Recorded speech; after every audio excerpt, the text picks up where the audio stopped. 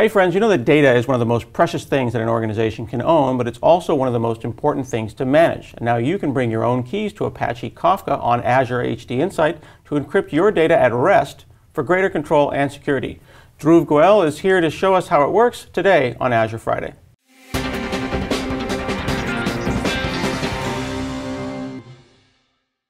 Hey folks, I'm Scott Hanselman and it's another episode of Azure Friday. In fact, it is our 500th episode. Congratulations. Thank you. Uh, so I'm here with Dhruv and we're going to talk about Apache Kafka. What do you have for me today? Hey Scott, thanks for having me here first of all.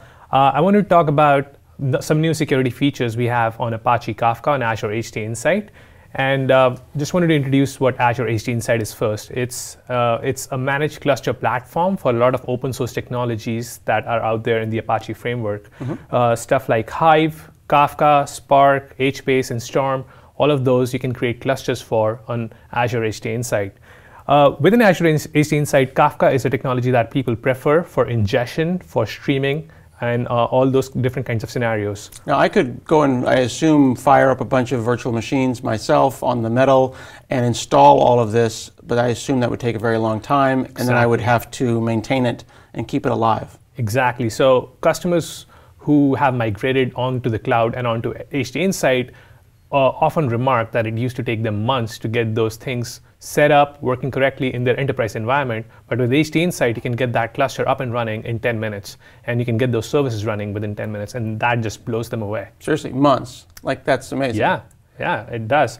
Uh, so within that, I wanted to chat about specifically some of the security features which, which we have in HD Insight, mm-hmm. which customers really care about. Uh, one thing you get with every HD Insight cluster is security outside of your cluster in terms of a VNet. You can put your cluster inside of a VNet. You can control exactly what kind of traffic flows in and out of it by setting up network security groups. Okay, so a VNet is a virtual network. This is that uh, software-based networking that we've heard of. It's it's as if you set up private uh, subnets and plugged physical wires into exactly. Uh, a network and put your Kafka instance in there, except yep. you're doing it all with software. Exactly. And it gives you very fine grained control over all the traffic that's flowing in. Mm-hmm. And it gives you, as, as your cluster comes up, so it's very easy to set up. All you have to decide is do I want this kind of traffic to flow in or not? Mm-hmm. And all of this can be done easily via Azure Portal or ARM CLIs. It sounds like there's a lot of really fine grained control around security, around top, you know, to- topography of this.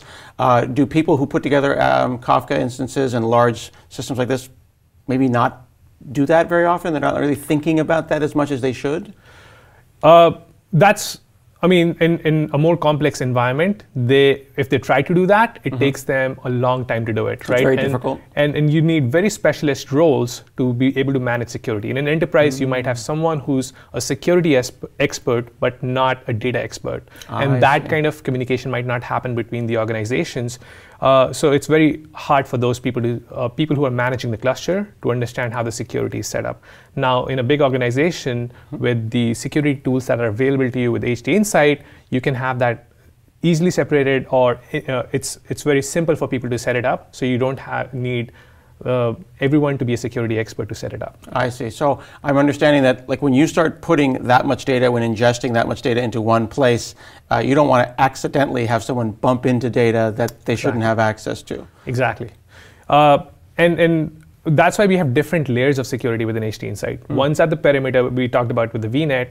Uh, the authentication and the authorization happens with uh, Azure Active Directory integration and with Apache Ranger. And the stuff that we're going to talk about in this episode is about encrypting the data at rest hmm. with your own keys. So with we call this BYOK, bring your own keys, and uh, that's something that's very critical for a lot of our customers today because in a post GDPR world, they want that control that uh, they they have control of the keys that are used to encrypt the data.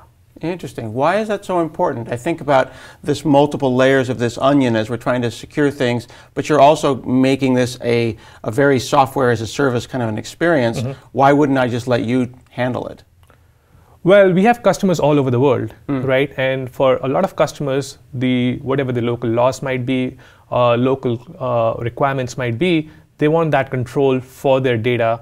They they want to be, you know, customers have the right to be paranoid about their data. Mm-hmm. We, data is the most precious thing for many organizations, almost every organization out there. So having that control over data becomes very critical. A lot of, and Microsoft is one of the most trusted public clouds out there. So many customers do trust us with their data. With uh, and any data in, my, in Microsoft Azure is encrypted mm. with Microsoft keys. Now they want the next level of control, which is hey, I want to bring my own keys. Interesting.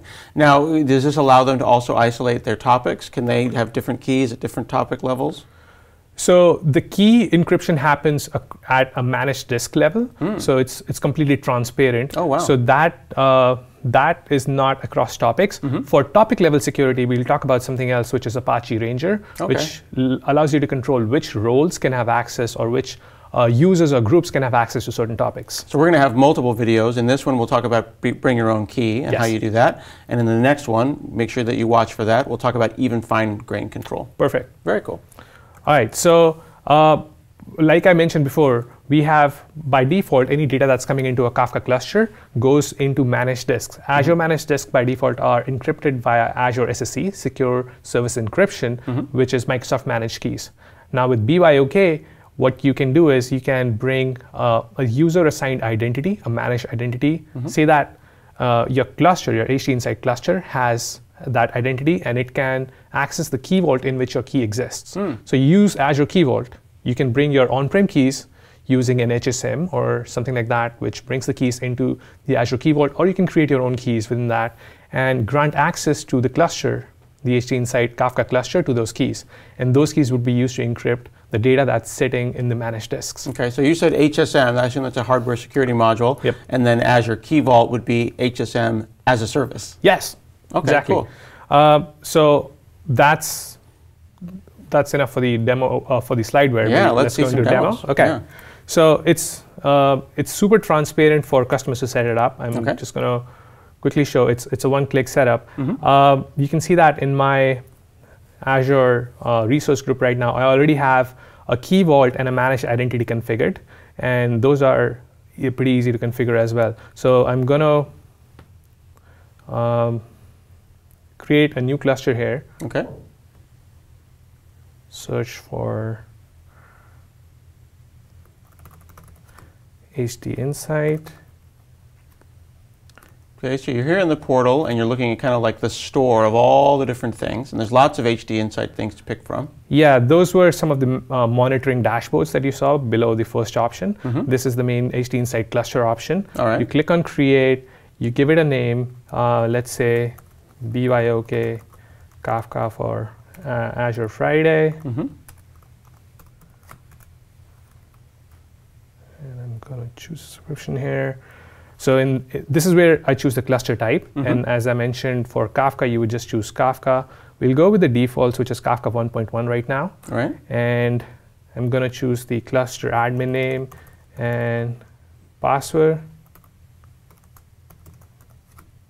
And I suppose when you show this to people, they have trouble getting their heads around how easy it is to spin these things up. Because, like you said, this isn't something that is is brought up lightly. It's difficult to put these things together, and this has been completely automated as a service. Exactly. Like it's not just the setup of the infrastructure aspect of it. Mm-hmm. Getting all these services running, getting them configured, mm-hmm. and once you configure them, you have to fine tune them so that they're running at the you know best performance, and then getting the security configured for that. It's it, it takes a long time to set it up. Mm-hmm. We are going to go through a few steps in the portal, and that's going to spin up the cluster. Wow. And this is uh, like, I like to think of it as concentrated best practices. Like maybe I could figure out how to get something like this set up myself, yep. but is it using best practices for performance for security? Exactly. I mean, uh, we have so many customers and we get the experience of uh, helping those customers achieve more that we know the best practices very well by now. Excellent. Uh, so, so the, the step comes here. Basically, within uh, within security and networking blade of it, mm-hmm. I say I'm going to use Kafka disk encryption. Now, what it asks me is the key URL. So mm. the key that resides in the Azure Key Vault, I just need to provide the key URL of that. So I go into my Key Vault mm-hmm. and I look through the keys. I um, I already have a key configured, mm-hmm. which and while it says URL, this isn't a public URL. This isn't an addressable URL. We're not putting a private key out in Dropbox somewhere. No. It's literally sitting inside of this hardware security module. Or, in fact, with key, Azure Key Vault right now. Right. Uh, so with within Azure Key Vault, you get the key identifier. Okay. Right. and you paste this here, and that's all you need to do. Mm-hmm. Uh, and then the cluster, like who can access this key? Not mm-hmm. everyone can, right? Like you said. So what what is the other thing that is configured within the key vault is who has access to these keys, mm-hmm. and you can see see that there is uh, there's a managed identity that has been created for this, which is mm-hmm. called which is this one right here, DHQL Azure Friday Managed Identity. Oh, and okay. that that's the one that has certain permissions to this key vault. So that's an application identity rather than a person identity. Exactly. Okay. So that's what I'm going to select when I create my cluster, mm-hmm. and I'm going to say that I want this managed identity to be able to access the key vault. So that's going to be associated with my cluster. Yeah, you can uh, you can create a new storage account to associate with that, and I just give it a name here. Okay. And you just go through the default settings. We're not going to add any applications. We'll select the default cluster size for this. Mm-hmm.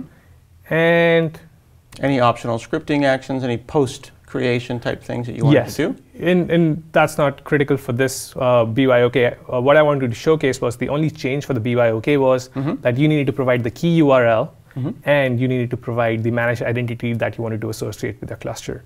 That's it, super transparent. You click on create. This will take about uh, 10 minutes to create. I just wanted to show you what a BYOK cluster looks like after the fact. Mm-hmm. And I have one here.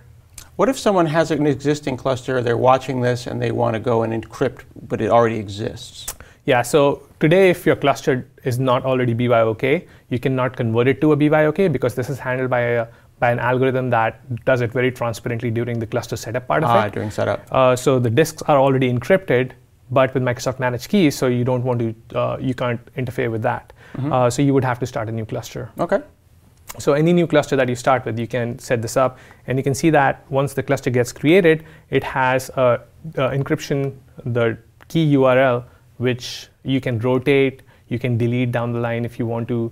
Uh, change the keys or something and you want to add a new key instead, mm-hmm. uh, you, you, can do that with the Rotate APIs. So you have a great deal of, of flexibility. Like if someone potentially quit the company or some organizational exactly. changes, you now have control about rotating your keys exactly. and, and moving their life cycle.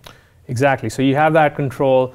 Uh, you don't have to change any of your producer or consumer client applications that interact with Kafka. Really? So they worked all as before. So they keep on sending data to Kafka and reading data from Kafka. Mm-hmm. It's only the managed disks aspect of it, which the OS handles in the background and uses as key. Fantastic. And I don't have to change anything, and all my clients just remain ignorant of this, uh, this, this security change. Yep. Very cool. Yep. And is this available today? It's, uh, it's in public preview today. All right, fantastic. I am learning all about how to bring my own key and enhance security in Apache Kafka with uh, HD Insight today on Azure Friday.